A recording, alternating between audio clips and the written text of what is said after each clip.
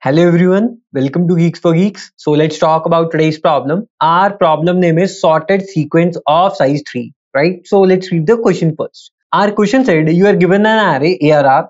You need to find any three elements in the array such that array of i is less than array of j and array of j is less than array of k, right? And in that particular case, your indexing will also like this, i less than j and j less than k, right? So here the note point given to us is the output will be 1 if the subsequence returned by the function is present in the array, right?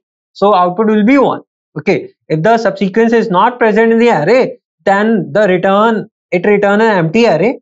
The driver code will print 0 in that case, right?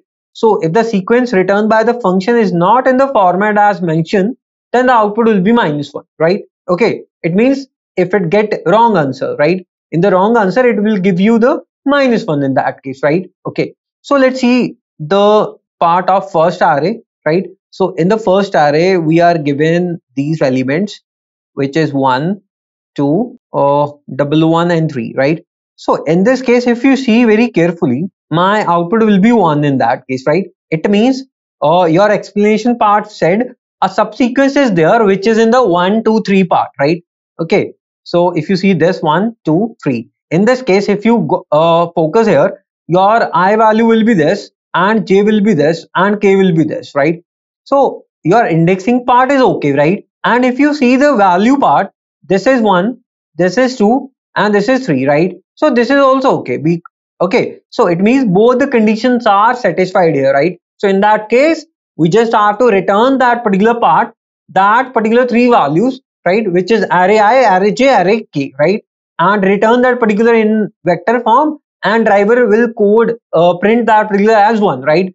Okay it means you are getting that point right? Okay so that's the thing which you have to do is right? So two conditions that you have to keep in mind. Okay now let's see how we can solve the problem right?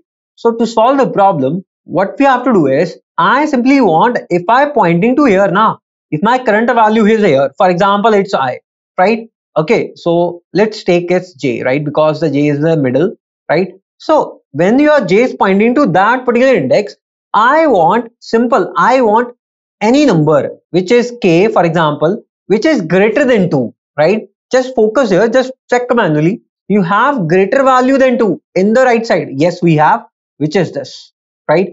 Okay now if you are pointing to this part just check in your left side of it. You have smaller value than 2 just tell me yes or no? Yes we have right? Which is 1 so in that case i can say that or not right? Yes my values are 1 2 3 these are the three values which satisfied my both the conditions right? So here the intuition is very simple. If you are pointing to any point right where j is pointing to 1 i want just greater value in the right side of it. I want smaller value than my j value in the left side of it, right? So here the intuition came.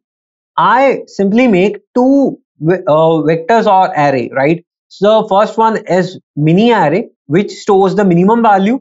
And this is maximum array, which stores the maximum value, right? Now see how we can do that. So here I make the mini array of size same, which is 4, right? Okay, so let me make here so that it will be looking good. Okay, this is my mini array right? In that case what i am doing is the first minimum value it starts from this i simply write here one right? Now after that when i am pointing to here i'm asking this is mini or previous is mini? So they said 2 and 1 which is mini? 1 is mini right? Now i'm pointing to here i'm asking hey array of i is mini or my minimum array ka previous is mini?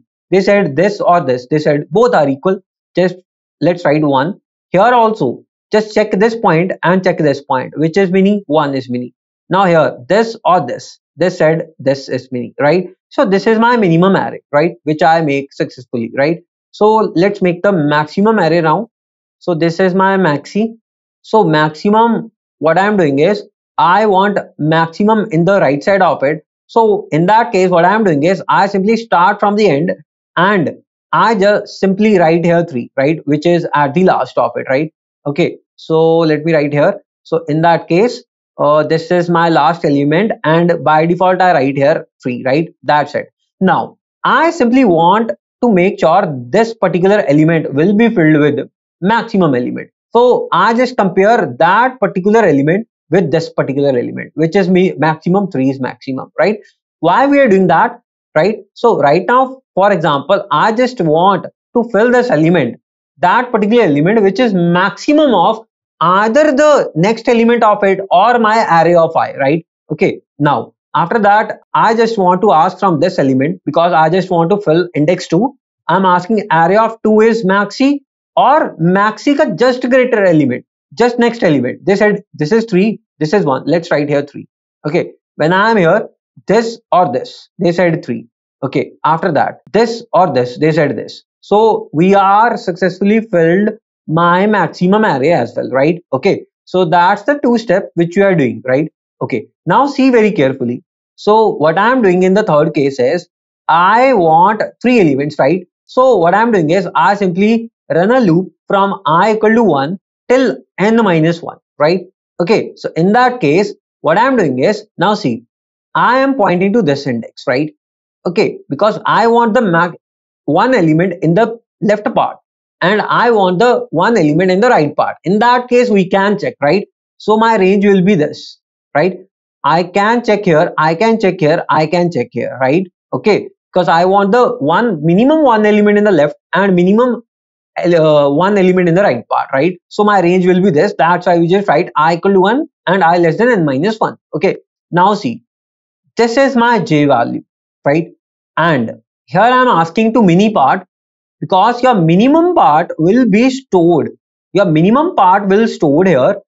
Okay. So see very carefully. Right now my i equal to 1, right? So let me write here i equal to 1. It means this is particular element j, right? Okay this particular element will be j. I want i, which is in the left part. Now check in the mini part because that particular index will store the minimum element in the left of it, right? So what I'm doing is I'm asking, hey, array of i, are you greater than, are you greater than mini of i, right? Mini of i. So this is mini of i, right? And so I'm asking, what is array of i? 2. So you have minimum element in the right side of it they said let me ask from mini array right so i am pointing to array mini of i right so they said okay i have one it means we have two and in the left of it we have one right it means that particular part is correct now my full focus is i want the greatest element then two in the right side of it in that case we just have to ask from max of i so what i'm doing is here i'm asking array of i are you less than of max of i they said yes we have so because here we have 3, right? Okay, so this particular element will contain the maximum element in the right side of it, right? So this is your 2, this is your 3, right? So both the condition are satisfied. It means that that particular is my answer. So what I am returning is, we just have to return in the uh, flow of it, one two three. So 1 will be the mini. So that's why we just return the mini i first. After that, return array of i first uh, in the second part and in the third part max of i, right? Like in this order, right? Now, just imagine in that case, when we are not able to find it, in that particular case, what we have to do is, we just have to traverse this part. Okay, sorry. Okay, we just have to return, uh, traverse i equal to 1, i equal to 2, i equal to 3, right? Just imagine in this particular indexing part, if we are not able to find that particular three elements which satisfy this my if condition, right? We immediately go out of the loop, right? What we have to return? Empty string because the question demand that part, right? Empty vector, right? Okay, empty vector we just have to return. So this is my simple intuition, right? So these are the things which you have to keep in mind. Make the mini array, make the maxi array and store according to it, right? And uh, just check this point, right? So these are the steps. So let's code this now. So let's first create the vector. So here I am creating the vector v, right? And uh, here I simply make array how many size of that particular array we have which is vector part right now I create the mini array which is of size n and maxi array which is also the size of n right? And we know that what I'm doing is I put the mini of first element as array of 0 right? And in the maxi part in the last which is n minus 1 that is array of n minus 1 like that. Okay now see we just have to traverse from i equal to 1 till i less than n right? Okay so to fill mini of i which is mini of index 1 right now so we just have to compare min of either array of i which is my current element or one step back. So what is one step back? Mini of i minus 1 right? Okay. In the maxi part so last is already filled. Now i just want to fill second last part. So how we can check? N minus. 1 will give me the last index part minus i. This will give me the second last part. So like that we just go one step back back back right? Now here i want the max so i just want to compare of array of i right? In the mini part array of i we have here. Maximum maxi of n minus 1 minus i i just want to update. Just compare with array of n minus 1 minus i right? Okay so that particular element. See here very carefully. So for example i just want to fill that particular element. So here i am written max of n minus 1 minus i right equals to max of uh, this is my array of i now because parallelly we have to extract that part right? Okay so that's why here i am written array of n minus 1 minus i.